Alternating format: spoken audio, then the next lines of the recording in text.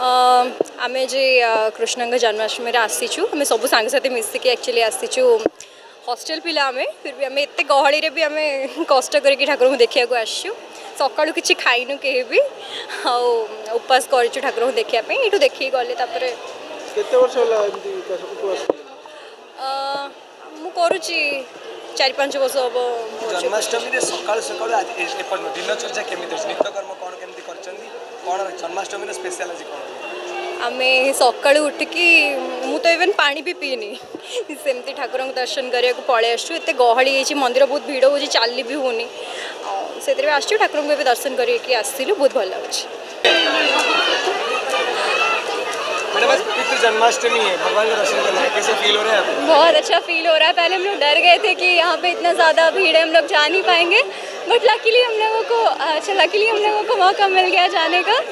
बहुत खुशी हो रहा है कि हम लोग दर्शन कर पाए। मैडम जगन्नाथ संस्कृति में जन्माष्टमी क्यों सेलिब्रेट करते हैं हम लोग? जगन्नाथ संस्कृति में तो नहीं पता पर ऐसे अ, जो संस्कृति में हम जानते हैं उसमें बताते हैं कि हम लोग इसलिए सेलिब्रेट करते हैं क्योंकि इस दिन कृष्ण जी का जन्म हुआ था। तो आज के दिन का रिचुअल्स क्या रहता है? सुबह से जब हम आते हैं तो क्या क्या करते हैं? अ, सब जगह का तो अपना अपना होता है लेकिन हम लोग अभी सब लोग फास्टिंग करके आए हैं यहाँ पे। हम दर्शन करके जा करके वहाँ पे पूजा होता है शाम को और फिर झूला झुलाया जाता है बारह बजे रात को। उसके बाद फिर हम लोगों का व्रत टूटता है।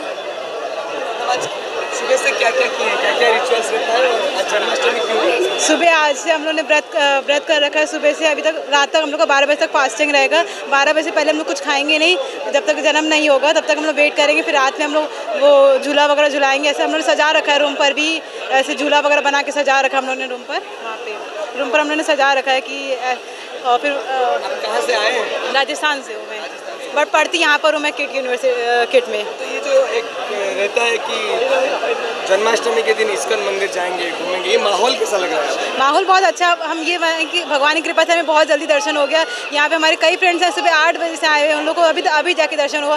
और हम लोग यहाँ पे ग्यारह साढ़े ग्यारह बजे आए बट हम लोग को भगवान की कृपा से बहुत जल्दी दर्शन हो गया। ये सबसे बड़ी कृपा मानेंगे भगवान की मैं कि हमको बहुत जल्दी दर्शन कराया भगवान ने।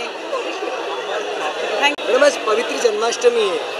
ये इसको क्यों सेलिब्रेट हम लोग करते हैं? इसके पीछे क्या भगवान का मतलब वो क्या है? मतलब आज आप मंदिर आए कैसा लग रहा है? इस दिन श्री कृष्ण का बर्थ हुआ था। इसलिए हम सेलिब्रेट करते हैं उनके बर्थडे को। जैसे कि देख सकते हैं इतने लोग उनके बर्थडे के मतलब पूजा करने आए हैं। आज आप व्रत रखे हैं? जी। तो मतलब इसमें क्या रिचुअल्स है? सुबह से क्या करना पड़ता है? और दिन भर में क्या करते हैं? अभी तो सुबह से हम कुछ नहीं खाए हैं पर अभी जब दर्शन हो गए तो अभी हम फ्रूट्स खाएँगे। फलहार खाते हैं। फलहार। आप आज व्रत रखे हैं तो ये जो जन्माष्टमी इसको हम लोग क्यों पालन करते हैं? क्योंकि ये कृष्ण जी का जन्म हुआ था अच्छाई की एक नई उम्मीद जागी थी बुराई पर अच्छाई की जीत हुई थी इसलिए। इसीलिए सब कृष्ण जी का दर्शन भी करने आते हैं। और इस आज के दिन में क्या क्या रिचुअल्स रहता है और भगवान के सामने क्या क्या मतलब मतलब भगवान के पास क्या क्या